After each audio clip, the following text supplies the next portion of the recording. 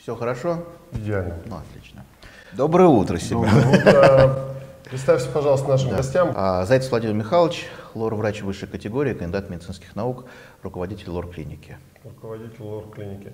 Владимир Михайлович, тут с одной стороны история довольно простая, с другой стороны довольно страшная. Куда не войди, э, что не включи, из каждого утюга говорят коронавирус, коронавирус. Кадры, китайцы там какие-то дороги разбирают, Ольга Скобеева в 60 минут, там целый выпуск этому посвятили. И вопросы наши, наверное, сегодня будут дилетантскими. Что делать? Можно ли с этим что-то делать? И вот буквально Сегодня утром сказали, что вроде как есть вакцина, вроде как нет вакцины. В общем, мы в смятении. Вроде как есть проблема, вроде как нет проблемы, да, вот это как бы с этого нужно начинать. А, на самом деле история фейковая, история раздутая. Ну, безусловно, что-то есть, но масштабы трагедии, масштабы бедствия, они на самом деле мизерные. Просто решили взбудоражить мир, а, сильные мира сего, поэтому к этому нужно относиться не более как к фейку. То есть мы можем ответственно заявить, что коронавирус это фейк. Я могу сказать так. а, В свое время, когда у нас были проблемы с Гонконгом, ну, не у нас были проблемы, в Гонконге были проблемы, а, у нас настолько сильно муссировалась эта тема, что ну, просто военный переворот, ну, Гонконг это страна и город как бы в одном флаконе, и там одно правительство, вот. а, И мне довелось быть как раз в этот э, момент а, в этом городе. Значит, отцепили там пара- параллельно перпендикулярная система улиц, то есть, ну, как вот в Нью-Йорке, а, улицы так идут, улицы так идут. Вот кусочек улицы отцепили, она стала пешеходной, как у нас Арбат. Так, так. И все. А, Студенты поставили палатки и были против нового мэра города. Всего-навсего. А У нас были представления, ну просто вот город стоит на ушах. То же самое мы сейчас переживаем с Китаем. Знаете, почему это все? Нет, конечно. Вот я вам расскажу. Потому что лететь до Гонконга или лететь до Китая 9 часов летного времени туда и 11 обратно. Никто из нас не полетит, тем более вот в такую, как бы, э, в кавычках, да, напряженную обстановку, не полетит проверять, что там случилось. А, Вот эм, давайте посмотрим про события на Украине. Вот война, война, война, война, стрельба, стрельба, стрельба, взрывы, бомбы, какие-то осколки, там куски дома отлетают, а а до дома там какие-то части кры- крыши рушатся. Хоп, и нет войны. Все пропало, все исчезло. Вопрос, э, была ли война в таком масштабе, э, в каком нам это представляют? Проблема коронавируса есть.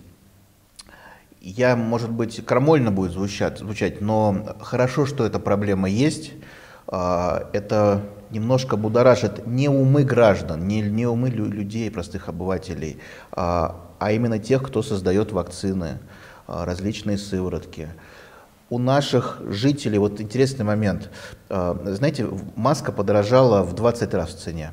Э, Она- Цифры. Цифры, да. Это Дайте, про- дайте цифры. А, То есть я, я- маска я говорю, до коронавируса до стоила стоила рубль. рубль. Мож- можно прийти было в любую московскую аптеку, купить ее за рубль. Сейчас Я- маска стоит 20. рублей, да. Я вчера был в аптеке, покупал лекарства, а, и небольшая коробочка стоит сейчас 1000 рублей. Ну, стоило прям, можно на сдачу было раньше э, взять коробку масок. Вот. И аптекарь меня спрашивает, как вы обходитесь? Я говорю, ну, у нас большой запас. Я говорю, мы как бы по 1000 рублей за коробку не будем покупать. Друзья, ответственно заявляем вместе с доктором Зайцевым, что коронавирус это фейк. Смотрите, какая история. Но ведь это получается высокоэффективный фейк. Вчера Очень. прочитал Очень. в Ютубе новость про свой родной поселок. Это Челябинская область. Отсюда не видно. Да. Каких-то китайцев привезли туда на карантин. Жители перекрыли дорогу, сказали, не позволим, не простим. То есть это разновидность гриппа, просто Да, разновидность. совершенно верно. Обычная разновидность Да. гриппа. Да. От которой кто-то умер. Ну, смертность была в Китае. Все-таки мы не можем говорить, что это прям вот это э, чистой воды надувательство. Что-то произошло. Удивительно, что э, при наших хороших отношениях с Китаем вот на сегодняшний день, таких дружеских, партнерских, э, мы почему-то стали Китай вот представлять вот так вот, да, откуда исходит угроза, и китайцев не выпускают из автобуса, там, разворачивают самолеты, не хотят, не хотят приземлять, так сказать. Но это уже это эмоции. Это эмоции, ну как бы, ну э, то, что вот сегодня правильно прозвучало, почему в России нету этого коронавируса до сих пор, да? у нас а, вот то, что действительно классно получилось на государственном уровне, а, санэпидрежим очень сильно соблюдается. То есть мы не, не, на всякий случай не пропускаем сюда всех опасных людей. Да? Те, кто есть, они, это, это нормально, так должно быть, просто мы сейчас живем в непривычном как бы, таком состоянии, да, то, что ну, как бы раньше не было. Вот. То есть санитарные барьеры свое дело сделали? Сделали и, и делают, и это, это очень хорошо. На уровне аэропортов, на уровне вокзалов идет проверка, но к этому нужно относиться спокойно. Я вам скажу честно, если бы поскольку я лор-врач, вот так бы мутировалась тема по телевидению про гаймориты, про воспаленные, э, воспалительные заболевания глотки, хронические танзелиты. Но лор-клиники России ну, озолотились бы реально. Потому что все пошли бы массово лечиться, а, как бы, ну и, конечно, просто уровень интереса к этой проблеме возрастает, все находят у себя проблему там, в пазух носа, глотки, воспаленных ушей, вот. но э, этого не происходит. А что сейчас в России происходит? Значит, подорожали маски колоссально, и люди пьют водку. Люди проспиртовываются. Вот, ребята, ну почему водку-то пьют? Вот потому что телевизор, коронавирус. Найден ответ, почему русские а, пьют водку. Вот задайтесь вопросом, вот сейчас у нас возникла ли вспышка того, что люди начали вакцинироваться? Нет, абсолютно. Плацебо, как вот было, ну не на нуле, но близко, близко к нулю, не вакцинируется никто. Может, не дошло еще. А, а дальше будет поздно. А, у нас уровень сознания такой, нам вкладывают в наши умы а, то, что хотят вложить, а мы безропотно все это принимаем. Вот такая вот история. Можно ли сказать, что, ребят, на всякий случай сходите, провакцинируйтесь, пока не поздно? То есть официальная версия не так. Выданная нами сегодня версия это фейк. И знаете, так как-то стало спокойно. К тому же мы и так пьем водку. А вторая история, что надо вакцинироваться, пока не поздно. Правильно понял? Вакцинация – это два. Третье, что нужно делать, а, чего-то мы забыли про имбирь, да, про хорошую такую штуку. Вот сейчас поподробнее. Имбирь имбирь раз, чеснок. Чеснок прекрасная, а, как бы прекрасная еда, да, которую мы с детства все знали, а, с детства все ели. Нам либо сейчас на работу утром сегодня идти, да, а, днем тоже как, ну, на работе точно чеснок, чеснок не найдешь, там где-то в кафе, в столовых. Ну, можно, конечно, но вот так, чтобы взять и чеснок есть, потом опять на рабочее место нужно выходить, тоже неудобно. Но вечером как-то вроде спать ложиться тоже, уже там будет живот болеть, как бы на, а, наедаться чеснока перед сном. И для чеснока чеснок как-то вытеснен. Вот Культура на... вытеснила чеснок. Да, вот в нашем социуме, когда было все как-то попроще, а, поспокойнее, чесноку было место. Но, пожалуйста, Чеснок, имбирь это и а, аскорутин, это сейчас не, не реклама лекарственного препарата. Аскорутин. Да.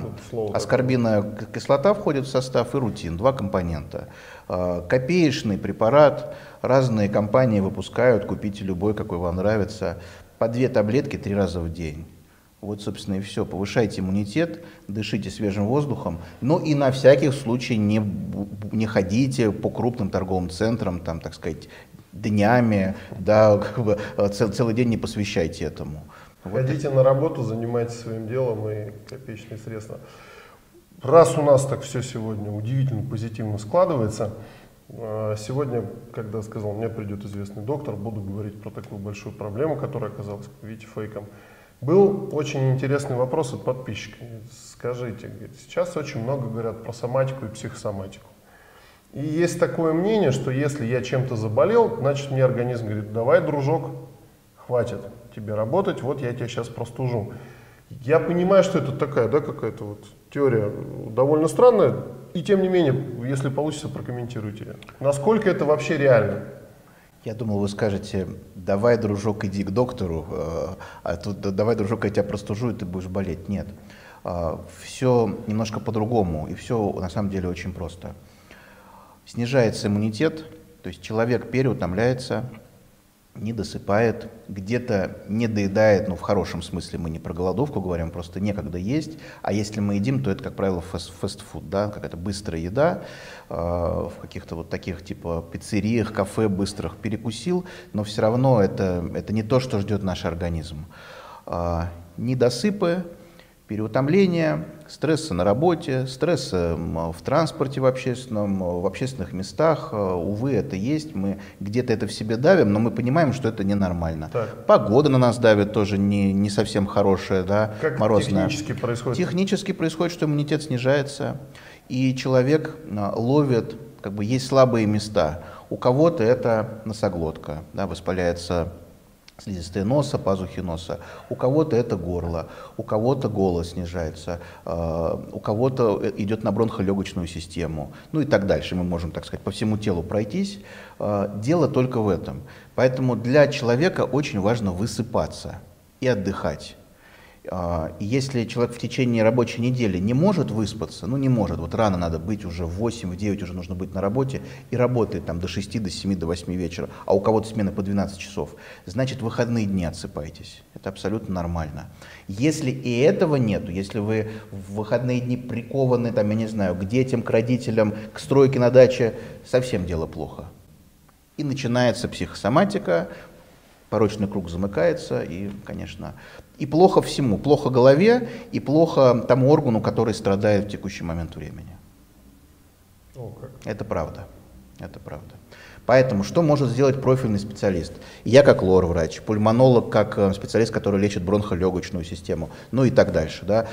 Кстати, желудок очень здорово страдает, потому что есть такой блуждающий нерв, нервус вагус. Это когда нам есть хочется вечером, особенно мужикам, перед, перед сном, да, мы к холодильнику там тянемся. Да, абсолютно. А, возбуждается этот блуждающий нерв, он ночью как бы не спят, вот коты ночью не спят и что-то вот ходят, бродят. А также блуждающий нерв, он а, очень такой как бы извитой, и он э, ходит по всему нашему организму, в том числе одну веточку он отдает к желудку.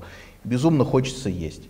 А, и когда мы волнуемся, переживаем, возникает гастрит и может возникнуть язва желудка. Поэтому одна из психосоматических проблем, в том числе гастрит и язва желудка, ну как язва как следствие, да, вплоть до перфоративной язвы. Вот насколько мы можем себя накрутить, насколько мы можем сильно нервничать. Я уже не говорю, что касается нашей головушки, да, а, какие мы себе придумываем мысли, какие мы себе ставим диагнозы, онкологии и прочее, прочее. Помните, как у Джерома Каджерома взял справочник болезни болезни, да. нашел у себя все, все что -то. даже родильную горячку. Ребят, вот такой удивительно быстрый и позитивный выпуск у нас сегодня получился. Подытоживая, спите, отдыхайте, йод, зеленка, стриптоцит убираем, оставляем имбирь и чеснок, аскорутин. И да, распространите это видео максимальному количеству знакомых, потому что, как сказал наш замечательный доктор, коронавирус это фейк. Подписывайтесь на канал и обязательно задавайте вопросы, которые мы вместе с доктором разберем в нашем следующем выпуске. Это был канал «На самом деле». Увидимся.